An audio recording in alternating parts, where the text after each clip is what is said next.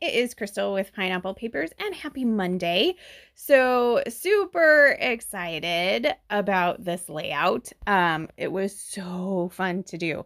So, today's sketch is from Lottie Loves Paper, sketch number three. And then our prompt for Scraptember is stars. And so I knew that Paper Issues had some amazing cut files that would work with this. And so this one is the one I chose, and I believe it's Firework. Um, I will link it down below, but there's also another one which is super awesome. And um, I forget what it's called, Starburst, maybe? Oh my gosh, so cool. So I'll try and link that one too because it would totally work if you haven't done this sketch yet and you're playing along. I would love to see you do it. So what I did was I cut it and I left it on my Cricut mat and I am going to um, use some Distress Oxides and basically color it. So um, the first color that I use is, I believe, fossilized amber. So that's the yellow. And then the second one is dried marigold. And then this one is rusty hinge. So the yellow and this like dark orangey color are inks, not oxides. And then I use speckled egg and salvage patina and peacock feathers. And if you saw the mood board um, that I am using for the paper issues challenge challenges for this month, um, it's totally 70s. Like these colors are all 70. Like I just love how this turned out. I think that it goes super well. Um, I am going to do so since I used to do mood board Monday and since all of the pop-up challenges this month for paper issues are all mood boards, I will have a mood board inspired um, layout as well every Monday. So I had one last Monday, did the 2000s. Today I'm doing the 70s. I don't know what I'll do next Monday. um, I might throw another one in there in between since I'm doing 30 days of sketches. So um, you have a layout for me every day. So um, might need a little extra extra inspiration to go with my sketch and prompt. Mood boards are awesome for that. You can pull so much from it. Um, I'm pulling kind of the idea of the the starburst and the colors and definitely the the order of the colors. So um I so I have little daubers for all of my inks. But I have some daubers for my oxides, but not all of them. And so I have these little brushes. I think they're Hero Arts from the Paper Issue Shop. And these blending brushes are super cool. I really like them. Um, I think their coverage is a little bit better than uh, the little daubers. So now that I've colored everything, now I am going to use it as a stencil. So yes, I am not going to make you watch me do um, this again.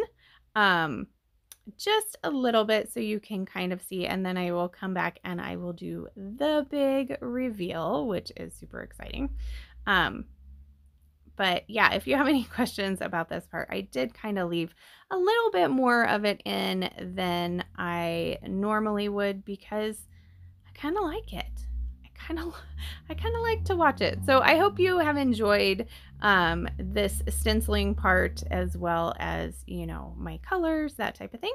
So here it is, and there is the reveal. Oh, I love how it looks.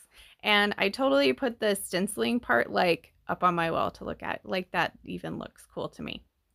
So I am going to take one of each of the biggest um, colored portions because I didn't know what exactly I was going to do if I was to do all of them, but I'm actually only going to do one of each color and I'm going to pop those up on some foam tape to give that a little dimension and then I did one to two stars as well. So now I'm going to work on my center photo. Um, and I know I want to do some of this, this blue color. This, is this from? This little Storyteller. This is from Vicki Boutin Storyteller. Um, and so I want to mat my photo, but then I decided, oh, maybe I want to mat my layout. So I'm going to gut the center and then I am going to trim down my layout. And normally I just trim two sides, but because I've already done all this work and it's in the center, I have to trim uh, like an eighth of an inch off of each side. So that's what I'm going to do and then I can attach it to um, this background frame and that will give just a little extra pop of color.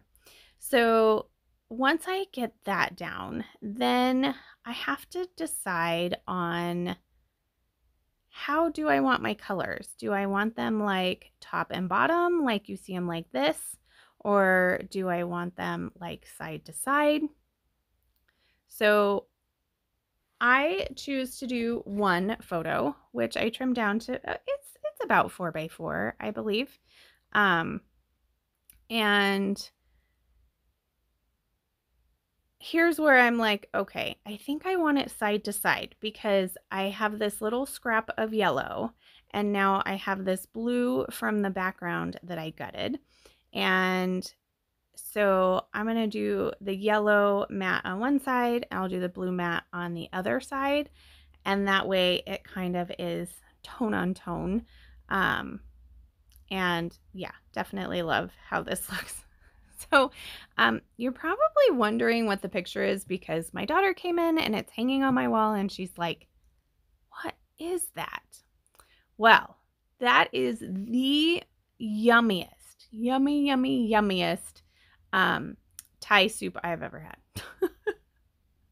um, so we have this place downtown and it's called Tara Thai and it is just delicious.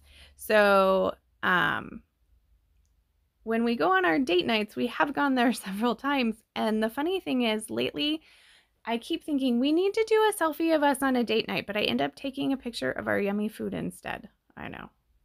So crazy. So crazy. So, um, I don't do a ton of embellishing on here. Um, I did go through my stash and kind of see if there was any yellow, orange, or blue items and then just piled them up. So this piece that I'm putting on now is from the Wonders collection. It says today. That hello is a mirrored piece from just Joanne's. Um, and so my title is going to be Hello Tom Kha, which is the name of the soup. Um, and so I'm trying to see if I can do it with these tiny um, pink fresh letters, and I can't. Um, I'm missing something. And because uh, I wanted to do it only in, you know, yellow, orange, and blue, and there were letters that didn't work. So um, I'm going to take these Buenos Dias and realize I don't have an M. I have a big M, but I don't want a big M. I want this little M. So I'm going to take two N's um, and make it an M. Um, and it's, you know, a little janky, but it works. You get the idea. I, I definitely didn't, uh, I didn't, I didn't take the time to make it look correct, but that's okay. And then for the Kha, I am going to use the Pink Fresh because I have a K in blue and then I have this A that I have already made where I trimmed down a V and something else to just put in the middle. So yeah, both of both of my words of my title are Frankenstein, but that's okay. So I have this little tag as well as a little orange ticket, and those are both from the Storytellers collection. And then I am going to grab those Storyteller stars there. Um, they're gold and black and white. and I am just going to sprinkle them around. I don't do any of the ones that are like really black um, because I don't really I don't really have anything bold black on this layout. The little hints in the stars is fine, but I didn't want to use a star that was like big um, and black because I didn't want it to stand out. Just, just a few extra stars. And then I am going to go through this, uh, I think it's, gen no, I'm not sure what sticker book this is. I think it might just be a generic one. I'm going to pull this sticker that says so good because yes, I, I dream about this soup. Yes, it's just a plain journal one. Um, and then I'm going to flip through this Vicki Boutin sticker book and pull out a piece that says life is good and that is in orange as well. And then I have this little arrow. It says that's awesome. I'm going to add that. And then I'm going to add this yellow camera. And that is going to do it. I absolutely love this layout. So head over to the Paper Issues uh, Friends and Fans play page and play along with the mood board. And then um, head over to the shop and get your hands on these amazing oxides.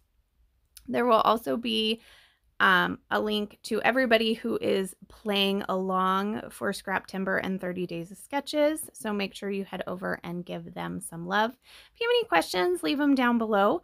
If you do feel like you're in a shopping mood, you can use my code Crystal. to save you 20% in the paper issue shop.